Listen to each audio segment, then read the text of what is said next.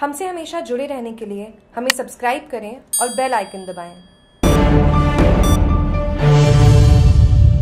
नाले की सुरक्षा दीवार से टकराई कार महिला की मौत, तीन घायल फोरलेन हाईवे पर हनुमान टेकरी कट के पास अनियंत्रित कार नाले की सुरक्षा दीवार से टकरा गई। दुर्घटना में कार में सवार चार लोग घायल हो गए। मौके पर पहुँची एलएनटी की रूट पेट्रोलिंग टीम व सदर पुलिस मौके पर पहुँची। घायलों को राजकीय चिकित्सालय पहुँचाया, जहाँ महिला ने दम तोड़ दिया।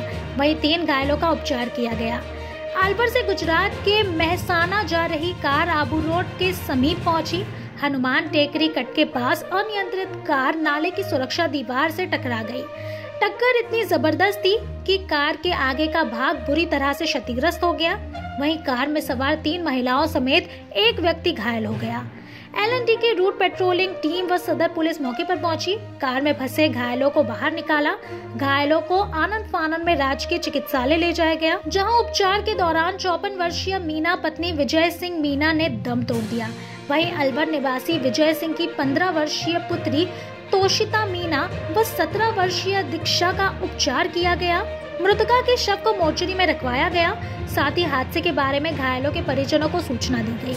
पुलिस ने मौके पर पहुँचे परिजनों को आवश्यक कार्यवाही के बाद मृतक का शव सौंप दिया। वहीं दूसरी तरफ़ एल की रूट पेट्रोलिंग टीम ने घटनास्थल पर साइफन कोन लगाकर यातायात डायवर्ट किया। कैरन की मदद से क्षतिग्रस्त कार को फोर लेन से हटाया, यातायात को सुचारू करवाया। जानकारी के अनुसार अलवर निवासी विजय सिंह गुजरात के महसाना में रेलवे में सीटीआई के पद पर कार्यरत है।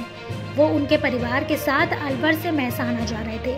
इसी दौरान हादसा हो गया। जागरूक टीवी की आबू रोड से मनोज चौरसे की रिपोर्ट।